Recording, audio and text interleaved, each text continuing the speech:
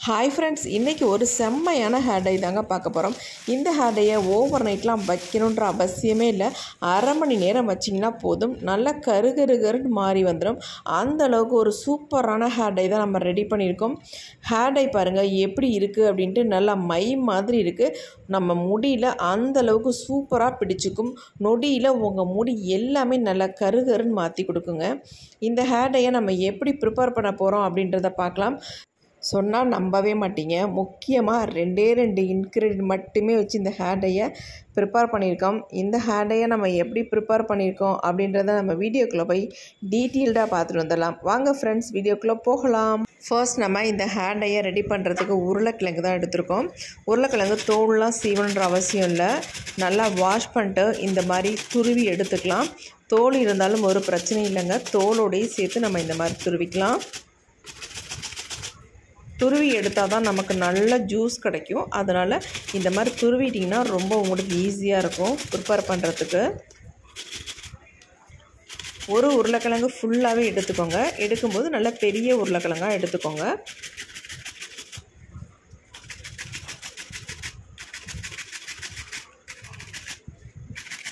நம்ப மாட்டீங்க. முடியை எந்த அளவுக்கு கருமையாக்கி தருமா இந்த உருளைக்கிழங்கு அப்படின்னு உங்களுக்கு ஆச்சரியமாக இருக்கும்.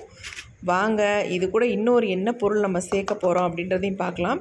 இப்போ நம்ம ஒரு உருளைக்கிழங்கு ஃபுல்லாகவே துருவி எடுத்தாச்சு. பாருங்கள் எந்த அளவுக்கு நைஸாக துருவி எடுத்திருக்கேன் பாருங்கள் இந்த மாதிரி நீங்களும் எடுத்துக்கோங்க. அடுத்து நம்ம என்ன பண்ண போகிறோம் இது அப்படியே இருக்கட்டும். அடுத்து நம்ம ஸ்டவ் ஆன் பண்ணிக்கலாம். ஆன் பண்ணிவிட்டு இந்த மாதிரி ஒரு இரும்பு கடாய் ஒன்று வச்சுக்கோங்க.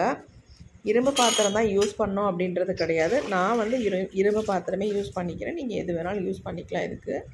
இதில் வந்து ஒரு டம்ளர் அளவுக்கு நார்மல் தண்ணி வந்து சேர்த்துக்கோங்க.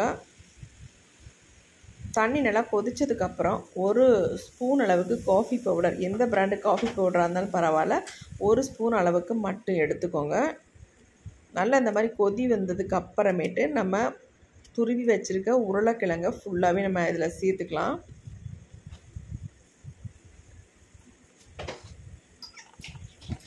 உருளைக்கிழங்கோட கலரும் இந்த காஃபி பவுடர் கலரும் சேர்ந்து நல்ல ஒரு ஒரு லைட் ஒரு பிளாக் கலர் நமக்கு கிடைக்கும். நல்லா இந்த மாதிரி மிக்ஸ் பண்ணி விட்டுகிட்டே இருங்க.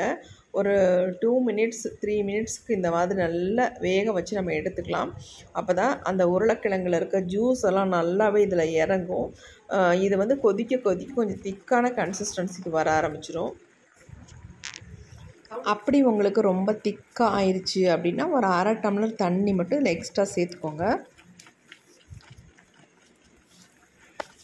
இப்போ பாருங்கள் நல்லா கொதிக்க கொதிக்க கொஞ்சம் நல்லா திக்கான கன்சிஸ்டன்சிக்கு வந்துக்கிட்டு இருக்கு.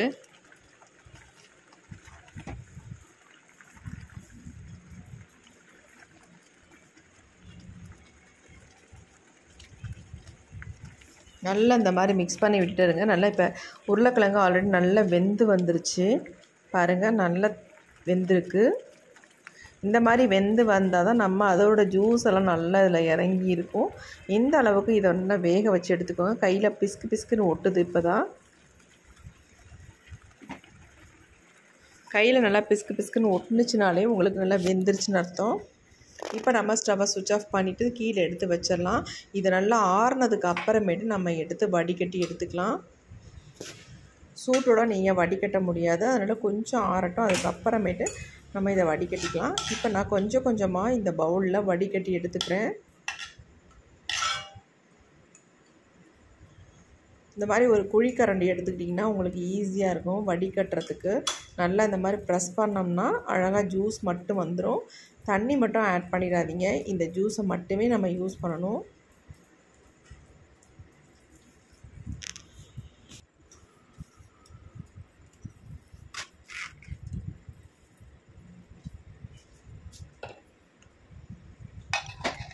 இப்போ நம்ம இந்த மாதிரி கொஞ்சம் கொஞ்சமாக வடிகட்டி எடுத்துக்கோங்க.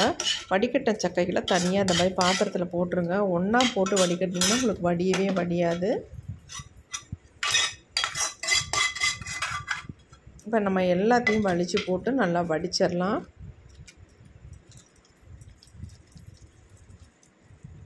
ரொம்ப அதிகமாக நமக்கு ஜூஸ் வராது. கம்மியான அளவில் தான் வரும். ஆனால் நல்லா திக்காக இருக்கும்.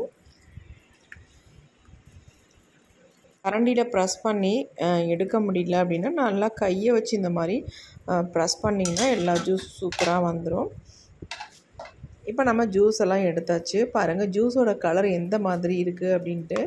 நல்லா ஒரு டார்க் பிளாக் கலரில் இருக்குது பாருங்கள் இந்த மாதிரி கலரில் வரணும். நல்லா அயன் கண்டென்ட்டும் இதில் நல்லாவே இறங்கியிருக்கும் ஏன்னா அதில் தானே நம்ம கொதிக்க வச்சோம். அதனால் நல்ல கலர் வந்து சேஞ்ச் ஆகி வந்திருக்கு. பாருங்கள் நல்ல ஒரு திக்கான கன்சிஸ்டன்சியில் இருக்குது. கையில் தொடரேன் கை கலரே மாறி இருக்கு பாருங்கள் ஒரு ப்ரௌன் கலரில் தெரியுது. இப்போ இது அப்படியே இருக்கட்டும். அடுத்து நம்ம என்ன பண்ண போகிறோம் அப்படின்றத பார்க்கலாம். இப்போ நம்ம ஒரு இரும்பு கடாய் ஒன்று எடுத்துக்கலாம். நல்லா வாஷ் பண்ணிட்டு எடுத்துக்கோங்க. இப்போ இதில் வந்து ஒரு முக்கியமான ஒரு பொருளை சேர்த்து நம்ம ஹேரில் அப்ளை பண்ண போகிறோம் அது என்னென்னா அவரி பொடி தாங்க அதில் சேர்க்க போகிறோம் ஒரு மூணு ஸ்பூன் அளவுக்கு அவரி பொடி மட்டும் நான் சேர்த்துக்கிறேன். நல்ல பிராண்ட் அவரிப்பொடியாக பார்த்து வாங்கிக்கோங்க. அப்போ தான் நமக்கு ரிசல்ட்டும் நல்லா வரும். கலர் வந்து சேஞ்ச் ஆகி வரலைன்னா நமக்கு வந்து நல்ல அவரிப்பொடி இல்லை.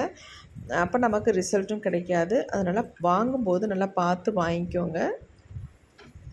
வேறு எதுவுமே நம்ம இதில் சேர்க்க போகிறதில்ல வெறும் அவரிப்பொடி மட்டுமே சேர்த்து இந்த ஹேர் டையை ரெடி பண்ணுறோம் அதேமாரி கொஞ்சம் கூட தண்ணி ஆட் பண்ணிடாதீங்க. நம்ம எடுத்துருக்க ஜூஸை மட்டுமே ஆட் பண்ணி நல்லா இந்த மாதிரி மிக்ஸ் பண்ணி விட்டுக்கோங்க. இப்படி அடியிலலாம் ரொம்ப பிடிச்சிக்குது பாருங்கள் அந்த மாதிரி பிடிக்காத அளவுக்கு நல்லா மிக்ஸ் பண்ணி எடுத்துக்கோங்க. அப்போ தான் நம்ம ஹேரில் அப்ளை பண்ணுறதுக்கு நல்ல ஒரு ஸ்மூத்தாகவும் சாஃப்டாகவும் இருக்கும். கொஞ்சம் கொஞ்சமாக ஊற்றி இந்த மாதிரி மிக்ஸ் பண்ணிக்கணும். ஒரேடியாக எல்லாத்தையும் ஊற்றிட்டிங்கன்னா ரொம்ப வந்து தண்ணியாக இருந்துச்சு நம்ம ஹேரில் அப்ளை பண்ண முடியாது.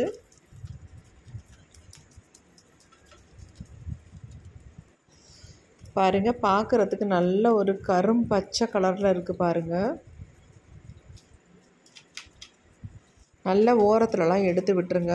ஏன்னா அங்கங்கே பிடிச்சிருக்கு பாருங்கள் பிடிக்காத அளவுக்கு நல்லா எல்லாத்தையும் எடுத்து விட்டு நல்லா மிக்ஸ் பண்ணி எடுத்துக்கோங்க.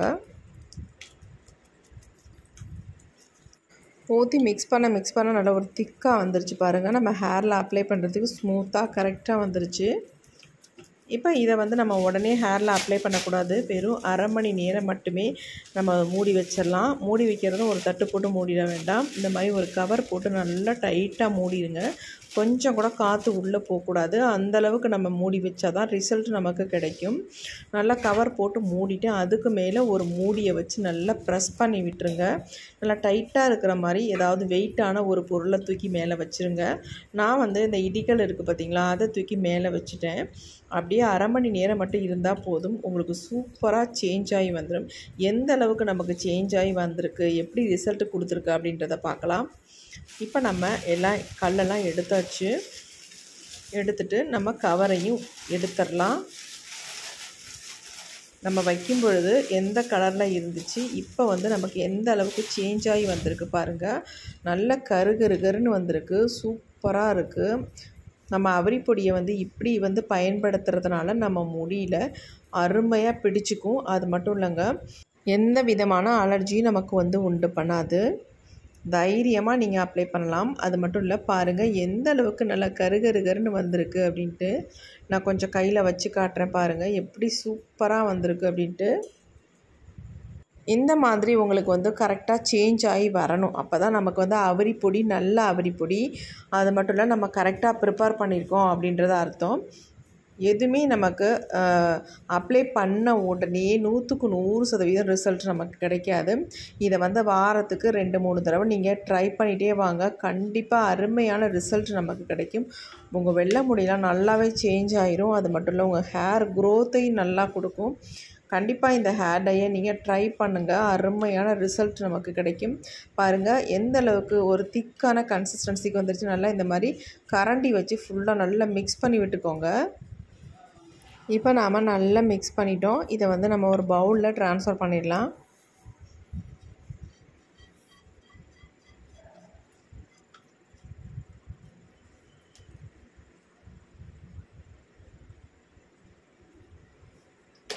இந்த மாதிரி மெத்தடில் நீங்கள் இந்த அவரி பொடியை வந்து ட்ரை பண்ணிங்கன்னா உங்களுக்கு எந்த விதமான சைடு எஃபெக்ட்டும் நமக்கு பண்ணாது. ஒரு சிலருக்கு வந்து அரிப்பு உண்டாகுது அப்படின்னு சொல்கிறீங்க அந்த மாதிரி அரிப்பெல்லாம் வராது. முகம் கருக்குது அப்படின்னு கூட சொல்கிறீங்க கண்டிப்பாக இந்த மெத்தடில் நீங்கள் ட்ரை பண்ணுங்கள் உங்களுக்கு எதுவுமே பண்ணாது. பாருங்கள் எப்படி இருக்குது ஹேர் டை அப்படின்ட்டு. நல்ல ஒரு அருமையான கலரில் வந்திருக்கு. நல்லா உங்கள் முடியில் பிடிக்கும். உங்கள் ஒயிட் ஹேர்லாம் டோட்டலாக சேஞ்ச் ஆயிரும். இதை ஒன் மந்த்துக்கு நீங்கள் தொடர்ந்து யூஸ் பண்ணிட்டு வந்தாலே போதும். வாரத்துக்கு ரெண்டு தடவை யூஸ் பண்ணுங்கள் அதுவே போதும்.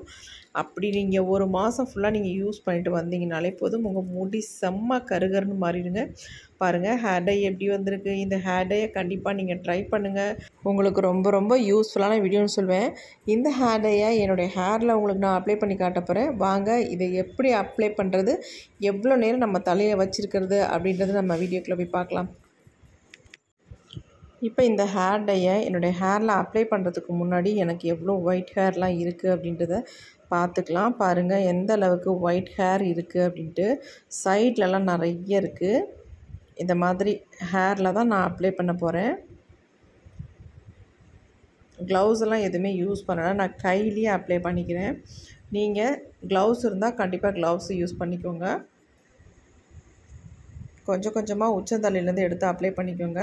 அப்ளை பண்ணுறதுக்கு முன்னாடி உங்கள் முடி வந்து ஆயில் இல்லாமல் இருக்கணும். ஆயில் இல்லாத ஹேர்லேயே நீங்கள் ட்ரை பண்ணுங்கள் ஆயில் இருக்க ஹேராக இருந்தால் நான் ஒட்டவே ஓட்டாது உங்களுக்கு ஹேரில் அதனால் முந்தின நாளே நல்லா ஹேர் வாஷ் பண்ணிவிட்டு அதுக்கப்புறமேட்டு நல்லா இந்த மாதிரி அப்ளை பண்ணிக்கோங்க. நல்ல அதாவது ஸ்கால்ஃபில் தான் நல்லா ஹேர் வந்து ஒயிட்டாக தெரியும். அந்த ஸ்டார்ட் ஆகிற இடத்துல நல்லாவே அப்ளை பண்ணிடுங்க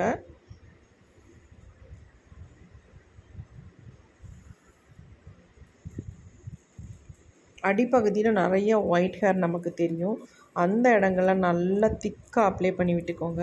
கொஞ்சம் கொஞ்சமாக வகுடு எடுத்து வகுடு எடுத்து உள்ளே ஃபுல்லாக அப்ளை பண்ணிக்கோங்க. அதேமாரி முன்பகுதியிலையும் நல்லா அப்ளை பண்ணிக்கோங்க. நம்ம என்ன தான் ஹேர் டை போட்டாலும் முன்பகுதியில் அந்த அளவுக்கு நமக்கு ஒட்டவே ஒட்டாது. இந்த ஹேர் டையை நீங்கள் தொடர்ந்து யூஸ் பண்ணிகிட்டே வந்தீங்கன்னா அருமையான ரிசல்ட் உங்களுக்கு கிடைக்கும். குறைஞ்சது ஒரு ரெண்டு மணி நேரமாவது இந்த ஹேர் டை அப்ளை பண்ணிவிட்டு அப்படியே விட்டுடுங்க. விட்டுட்டு நார்மல் வாட்டரில் வாஷ் பண்ணுங்கள் இல்லைனா சிக்கக்காயை வந்து யூஸ் பண்ணி நீங்கள் ஹேர் வாஷ் பண்ணிக்கோங்க. இதை வந்து தொடர்ந்து நீங்கள் ஒரு மந்த்துக்கு நீங்கள் பண்ணிங்கனாலே போதும். உங்கள் முடியெல்லாம் டோட்டலாக நல்லாவே சேஞ்ச் ஆயிடும் இந்த வீடியோ உங்களுக்கு ரொம்ப ரொம்ப யூஸ்ஃபுல்லாக இருக்கும் அப்படின்னு நினைக்கிறேன். அப்படி யூஸ்ஃபுல்லாக இருக்குன்னு நினச்சிங்கன்னா ஒரு லைக் ஒன்று போட்டுக்கோங்க. Thank you friends